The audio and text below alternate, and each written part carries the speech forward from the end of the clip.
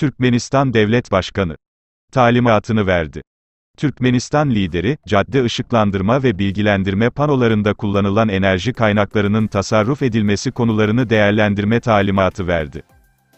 Türkmenistan Devlet Başkanı Gurbanguly Berdimuhamedov, çarşamba günü yapılan Devlet Güvenlik Konseyi toplantısı ve tüm vilayet valilerinin yanı sıra Aşkabat valisinin katılımı ile gerçekleşen çalışma toplantısında, Türkmenistan'da havaların ısınması nedeniyle ek güvenlik önlemlerin alınması talimatını verdi.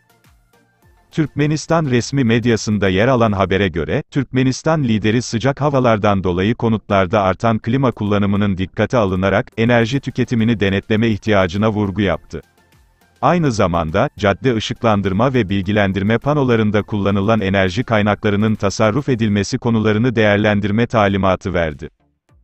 Yangın güvenliği yönetmeliklerinin yerine getirilmesine yönelik kapsamlı tedbirlerin alınmasının önemine dikkat çeken Türkmenistan Devlet Başkanı, yangın güvenliği yönetmelikleriyle ilgili sürekli olarak açıklayıcı bilgi etkinliklerinin düzenlenmesi talimatını verdi. Ayrıca Türkmenistan lideri, yaz mevsiminin gelmesiyle havaların ısındığını, aşırı sıcak havanın insan sağlığına olumsuz etkisinin bulunduğunu kaydetti.